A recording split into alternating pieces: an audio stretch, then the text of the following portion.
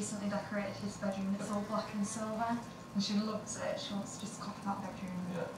Well, I'm going to take the theme of black and silver and create a very atmospheric, dramatic and romantic bedroom. I think this room, a reasonably good size, We'll sort out that bit of an eyesore there. Mm-hmm. Uh, it's still essential storage, but it still gives a lovely floor space for a very dramatic bed. You'll want to dive into this, I assure you.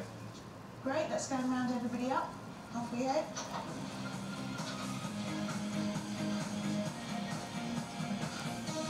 Because before we can start the makeover, the team's got to get the rooms prepped. And there's a lot to sort out before the 60-minute countdown can start. The living room furniture is off to family friends. And all Corin's things are relocating downstairs to his new bedroom. Dismantled. There'll soon be new ones to take their place.